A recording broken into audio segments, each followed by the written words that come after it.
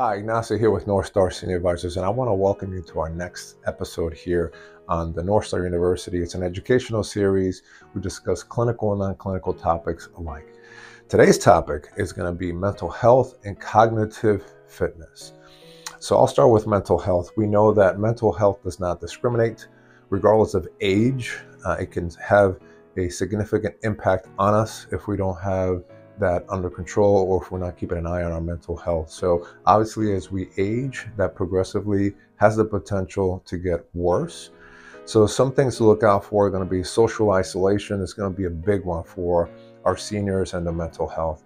Um, ways to avoid this, of course, would be through some socialization, whether that's church, church group, uh, friends, neighbors, and families. Having that network is going to be important. Of course, there's different factors that may impact our mental health. But I would say definitely the lack of socialization uh, can be a potential uh, big one. So you want to keep an eye on that, of course. Uh, the other thing is our cognitive fitness. We know that as we age, we forget things, and that can be normal. Uh, so you want to look at things like puzzles, you want to look at word games, even music, uh, maybe even languages, right? So there's different things you could do to kind of work out your brain from a cognitive perspective if you were to be proactive in that process, okay? If at any point that becomes a concern, whether it's your mental health or your cognitive function, uh, you want to get checked. So, especially on the cognitive side of things, there's a bunch of different types of free screenings out in the community that you can potentially set up for yourself to see what's going on from a cognitive perspective.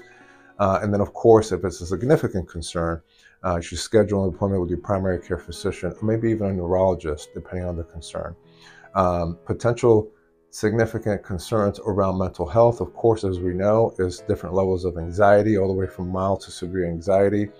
And then, of course, depression, which can be not so good and can impact our seniors even more. Be- besides just the social isolation, it can impact appetite, uh, just their overall well being.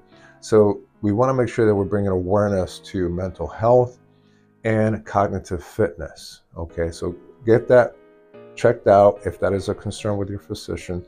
Look at your network, whether it's family, friends, uh, for help. And then, of course, a lot of folks don't realize this, but if the time comes and you want to consider senior living, in assisted living, there's a great deal of activities, socialization, nutrition, um, and so there's, there's, it's an environment where folks can definitely thrive. So if you've been home alone for a while um, and things have just not been so good with the uh, isolation, and you may need some care, of course, considering assisted living could be a great option to kind of check all those boxes in terms of what you may need. So, uh, just some tips.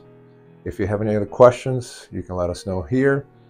Uh, stay tuned for our next episode on North Star University.